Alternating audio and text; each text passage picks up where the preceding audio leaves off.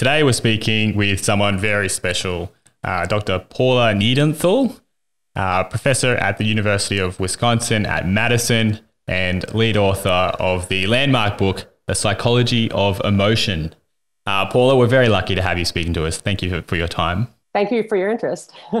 Okay, uh, as someone who is very insecure, um, our listeners probably hear me rant about this a fair bit. I'm quite insecure about my my smile. I have terrible, I have shit upper teeth, basically. And since I was about 12, um, some kids at school made fun of me. I'm still I'm still burned by this. Traumatized. Yeah, yeah. it's um, it's amazing the, the power of the smile and like what it means. I've I always don't show my upper teeth when I smile. Um, and it pisses me off because I want to smile. It's, it's, against your instincts. Um, so I'm really, really excited to to uh, pick your brain about what is a smile, why do we do it, what does it mean, how can I get over this insecurity and actually start smiling with, uh, with showing my full teeth. Um, so let's kick things off. Like, what is a smile? How, is, is there a definition you could you can give us? Well, there's two ways to think about the definition. One is what it looks like. And so when we talk about a smile, we talk about the use of particular facial muscles.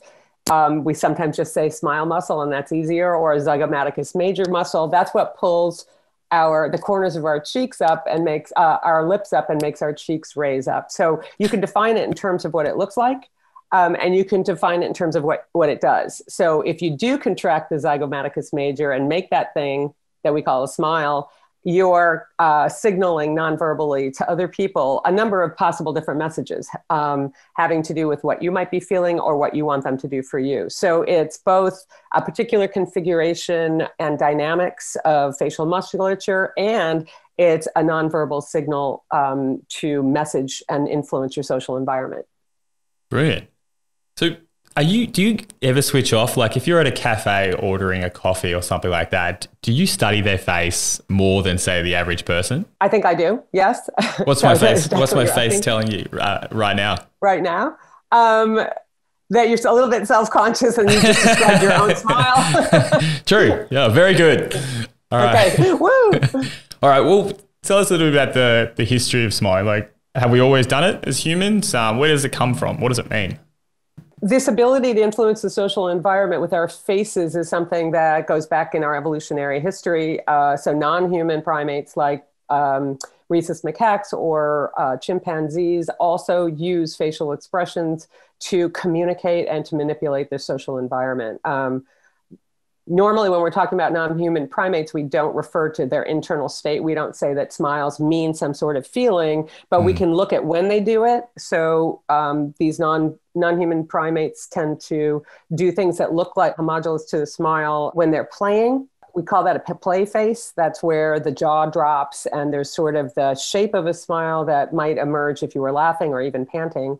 Um, and uh, there's also something called the silent bared tooth display, which is more when the corners of the mouth are pulled back and usually occur when an animal, a non human primate, is signaling submissiveness or, or affiliation in certain cases in certain social structures. So other animals so do, do smile. And we do.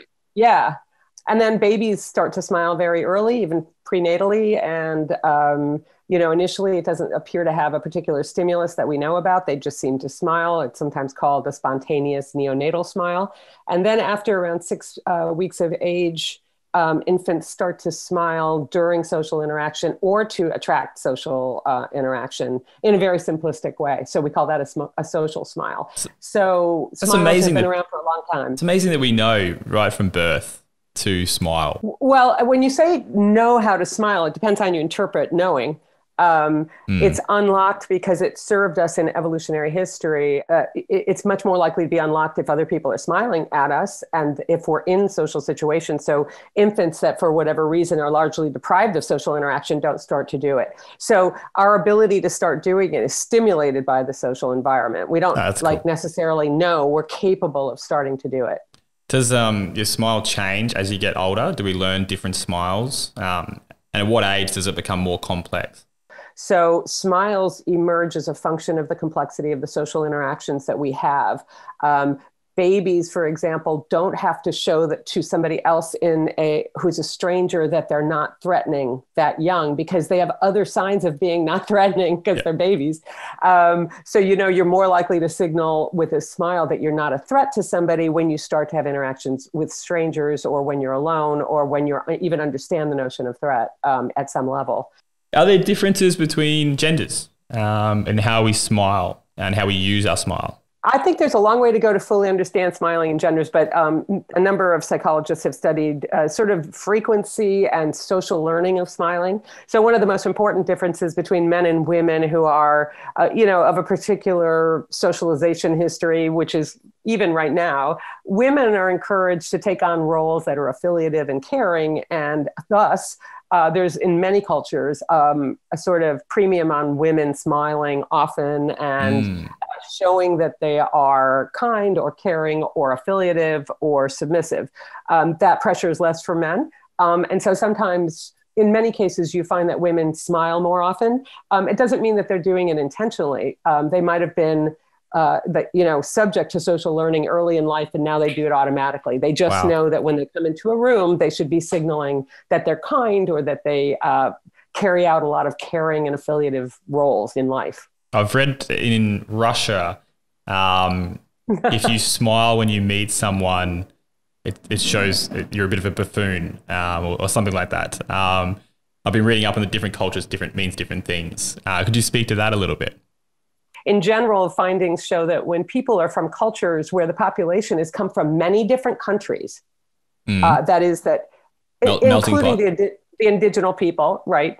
Um, that because nobody uh, sh- over many centuries of immigration and migration people didn't share the same customs for emotion or they didn't share the same language for emotion so they tend to use uh, facial expressions in bigger more clear ways and in addition mm. because smiles make new friends and you have to do that more in countries that we call high in ancestral diversity, then people high in countries with high ancestral diversity do tend to smile more. And that's a more wow. benign interpretation. It just means that they had to do it, basically. Okay. Well, thank you so much. Um, I feel like I know a, a, bit more about what is a smile now and where did it come from. I don't know if it's right. going to help me um, smile more with my upper teeth. Maybe we can dive deeper in uh, future episodes to help me out there. Okay. But thank you so much for your time. it was a pleasure. Thanks for your interest. And to our listeners at home, please follow us on social medias. If you've got any questions for Paula, um, maybe she can follow up uh, and, and answer some of those. Thanks, guys.